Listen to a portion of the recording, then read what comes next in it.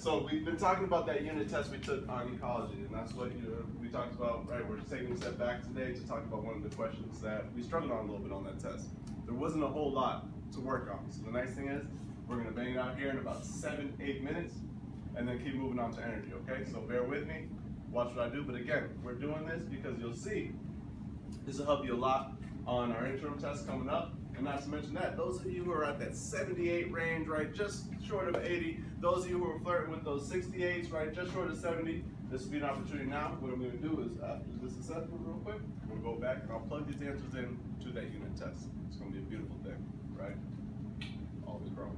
So, on the board you have two things. You have these clues that ask you to identify the location of different organisms on this food pyramid. Now, the reason why this is here is because on the test, what I noticed is that we were confusing levels of organisms and classifications of organisms, that's our consumers, our producers, our decomposers, with the different levels on this pyramid. And so what I'm asking you to do now is I'm gonna have you go through and use these clues to find which level we're talking about on this pyramid. For example, one, where you would find the most number of organisms. Tell me. I don't want you to tell me, oh, the most number of organisms is the hawk, or the most number of organisms is the frog.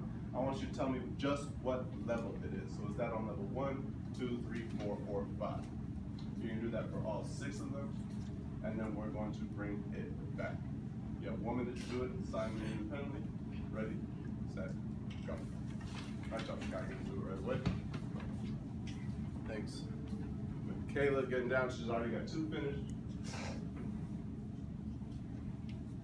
Naja's going down, making hers nice and thick and bold so we can see them. We're gonna review quickly, so be ready. About 30 seconds left.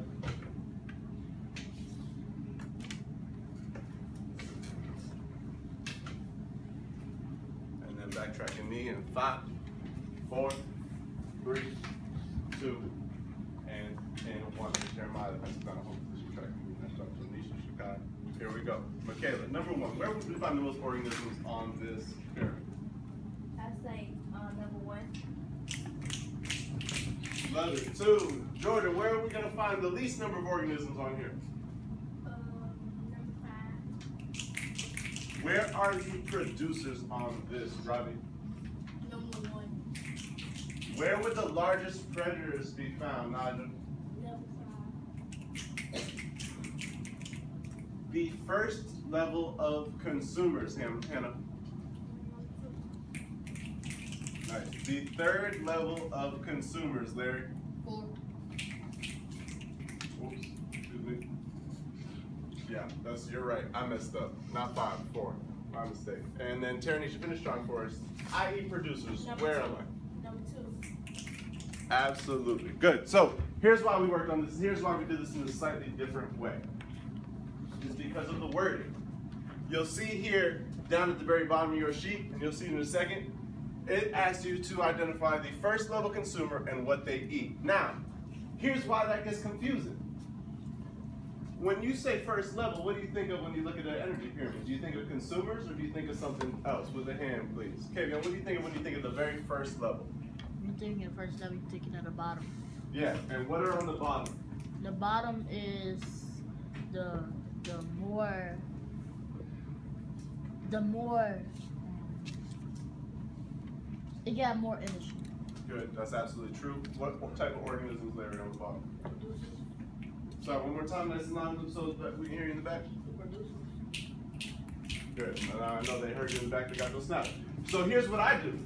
Every time I see an energy pyramid, I go in and I'm gonna put my P at the bottom because every single time the P will be at the bottom. And what's that P stand for, Rodney? Produce. Good. And so if I wanted to label my consumers, where would I put them, Miranda? Which levels could be C for consumer? Two. Two, good. What about three? We have our level of producers, the very bottom, like Kavion helped us out with.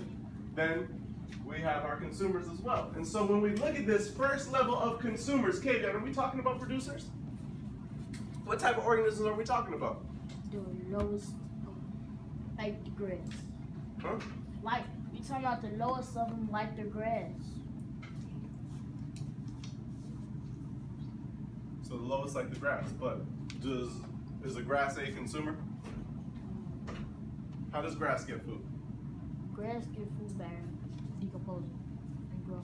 Kar- Karina, how does grass? Well, the second part you said, Karina By sunlight. And it makes them stay on um, food. Makes their own food. That's what we're looking for, right? So when we have producers, we notice at the bottom they make their own food. They don't eat anything. Now, when we look for our first level of consumers, right? When we see something like this, our first level of consumers, are we talking about producers? No. Darnisha? Who are we talking about then, first level of consumers? Which organism on this pyramid? I mean the number five. The um I the hawk. That's not Hold on, down. This is what I'm saying. When we talk about the first level of consumers, we know level one is producers. We labeled it here. But when we talk about the first level of consumers, like you see on this sheet, what are we talking about, Dave? Level two. That's exactly right. It's this level. Why? Because we've labeled it. We have our producers, but there's only one label that's producer. So our consumers are each level after that. That's how many of you found when we talked about our third level of consumers. We're not, and let me not give you all the wrong information. Let's say that's a four. But you're not going up and finding the third level. You're finding the third level of consumers. That's one, two, and three. So use that, and that information will help you out at the bottom here. So what I'm gonna have you do, and last chance to get this right before our test today, so pressure's on.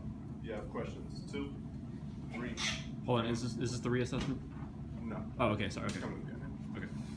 Questions two, three, and four. So, especially looking at four, and I'll pull it up here if I can keep my clicker in my hand, but if you look at four, you see here it asks you match, match the organism on the left with the organism that it eats on the right. And I would definitely use this chart to help you out there.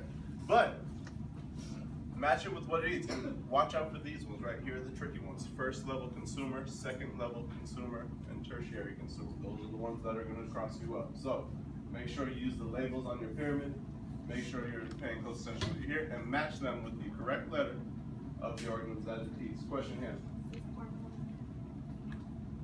Partner work, three minutes. Library voices. Go. Zero. Thanks for Kayla getting her pencil down, tracking me.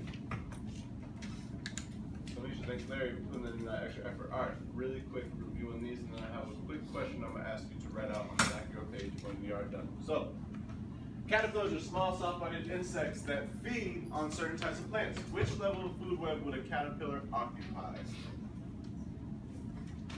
Karina. D primary consumption. How do you know? Because caterpillars are herbivores, herbivores, and they are on level two. Good. So we got that. Herbivores on level two, absolutely. And then, especially, what do they eat? That's another clue that gives it away. So what do they eat and that gives it away, Michaela? They eat plants. That's the key. Right, so that's gonna be that level right there. And so which level of consumer is this one? Now I'm not talking about level on the pyramid, I'm talking about the level of consumer. Karina, go ahead, take it. Two. This is the second level of consumer? No, the first. Why, why would it be the first and not the second?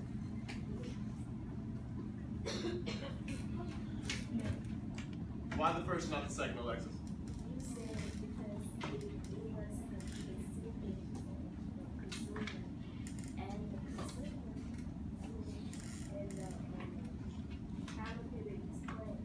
So those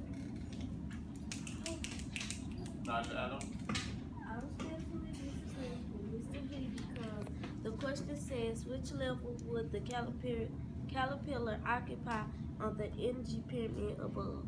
Level two. Yeah, yeah, yeah, yeah, okay. So, just a misunderstanding there, Naja. I think we're in agreement. I also agree to be on level two, the primary consumer level. My question is, what level of consumer is it? My level, that's the question I just asked Karina, is what level of consumer it was? And you told us the right one. What'd you say again? two. Well, Oh, wait, I said one. One. So we agreed that it was one. And the reason why it was one, Alexis, one more time. How do we know it's the first level of consumer? It's the first level of consumer because because the first letter of consumer is First level of consumers is producers. Love it. Good. Make sure we're speaking up so everyone can hear. Which level would the caterpillar occupy in the energy pyramid above? So, This is the second question, not the one I just asked, but a separate one. Now, to take this one. Which level would the caterpillar occupy in the energy pyramid above? The caterpillar will occupy level two on the energy pyramid. Love the full sentence. On that, multiple choice. Absolutely. Uh, for those reasons we just explained. Let's go down here. Producer eats food. Not uh, Kai. Said D, it makes its own food. Do you hear that? I? What she said, or one more time, so we can hear you over here in this corner. I said D, it, it makes it sound food. Next one, Brandon.